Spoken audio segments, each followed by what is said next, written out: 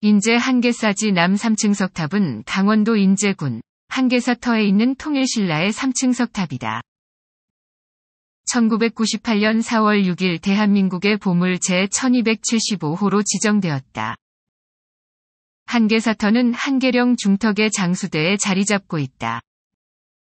앞으로는 한계천이 흐르고 뒤로는 산줄기가 병풍처럼 펼쳐져 있는데 한용운이 지은 책에 의하면 신라 진덕여왕 원년의 자장율사가 창건했다고 한다.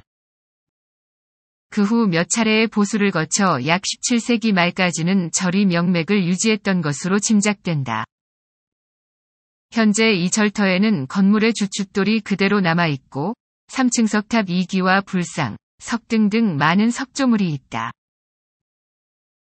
쌍탑으로 보기도 하는 두 3층 석탑 가운데 금당터 앞에 서 있는 것이 이 탑으로 받침대 역할을 하는 기단을 2층으로 두고 그 위로 3층의 탑신을 세운 모습이다.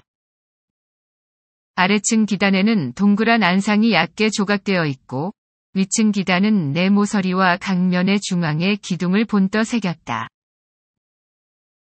탑신의 지붕돌은 밑면의 받침수가 1, 2층은 5단이지만 3층은 4단으로 줄어 있으며 처마는 수평을 이루다 끝부분에 이르러 살짝 들려 있다.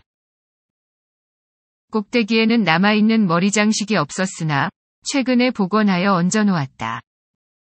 통일신라 양식의 일반형 석탑으로 9세기 중반을 전후하여 만들어진 것으로 추정된다. 낡은 산장 옆에 옮겨져 있던 것을 원래의 자리를 찾아 복원한 것으로 파손되었던 부분을 복원하면서 너무 모나게 다듬어 원래의 석재들과 잘 맞지 않는다.